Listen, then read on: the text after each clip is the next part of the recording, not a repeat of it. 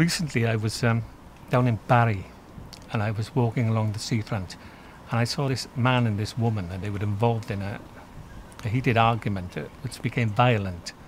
And the guy started hitting her, you know, and uh, well, it's a terrible thing to see.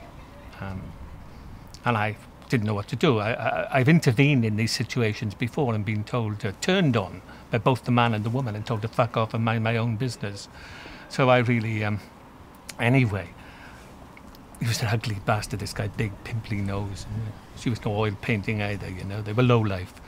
Um, as he was grappling with her, a copper came along and uh, he tried to intervene and he got into a fight with the guy and he took out his truncheon, you know, and they started hitting each other. But the guy took his truncheon I started eating the copper. So there's this other thing now. The woman, the woman was carrying a baby. I forgot to mention, you know, and a bag of shopping and all this. And then this crocodile came along, right? And he pinched a string of sausages from her bag of groceries, you know. And uh,